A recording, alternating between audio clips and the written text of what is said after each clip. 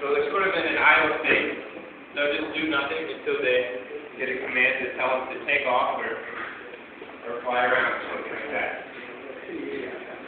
Video so So now that they're all on, I'm going to go over to my computer and start the, the program. It's going to send the commands to the vehicle to tell them what to do.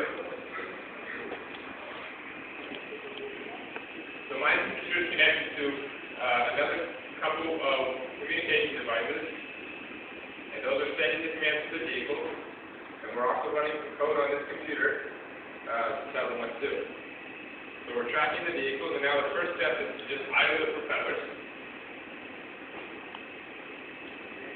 I'm just going to spin up all the propellers, and now they should all be spinning. I'm going to take off.